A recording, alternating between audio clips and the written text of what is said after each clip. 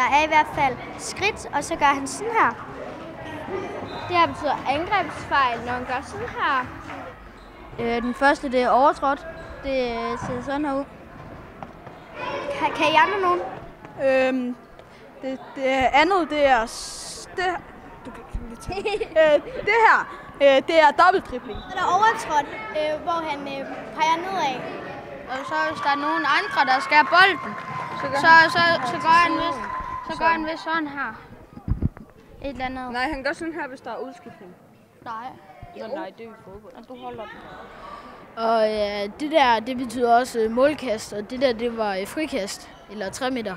Der er et gult kort, og så er der et rødt kort. Men der er ikke nogen, der har fået rødt kort af dem, vi kender. Jeg har fået gult kort i hvert fald. Øhm, og så er der skridt. Og øh, fod. Så lidt basic. Øh, så kan jeg ikke huske mere. Og så er der, når at, øh, de har brugt for mange afleveringer, så tager han hånden op, og så har de fem afleveringer tilbage. Og det her, det betyder overtrådt. Ja, kort. Ja, der, Øhm, der er to minutter. Øh, så er der, der er blåt kort, som jeg heldigvis ikke var med. Så der er også, øh, hvis der er mål, så øh, rækker han hånden op i luften og fløjter to gange. Ja, der er gul der og er rødt. gult og rødt, og så er der også blåt kort, hvis at du gør noget helt vildt forkert. Så må du ikke være med i turneringen. Øhm, og så kan man få to minutter. Jeg har også fået to minutter. Det er jeg ikke.